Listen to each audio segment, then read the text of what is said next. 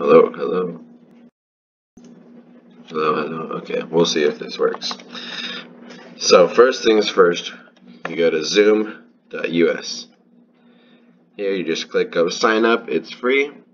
Enter your email address or a parent email address.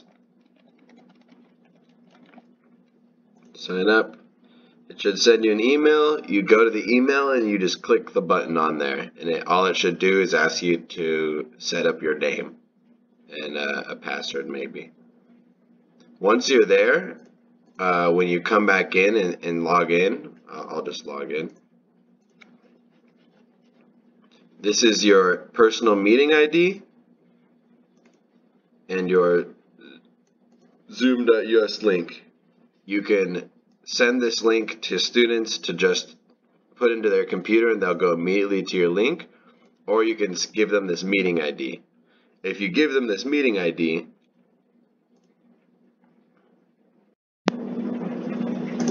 the only thing you need to do is go to zoom.us, go to host a meeting with video on.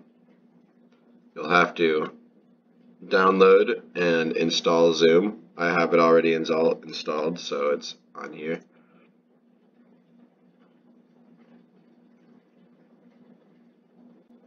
Here it should connect. I can join with my computer audio, everything. I don't have my webcam on, so I, my video won't start. But here we're here.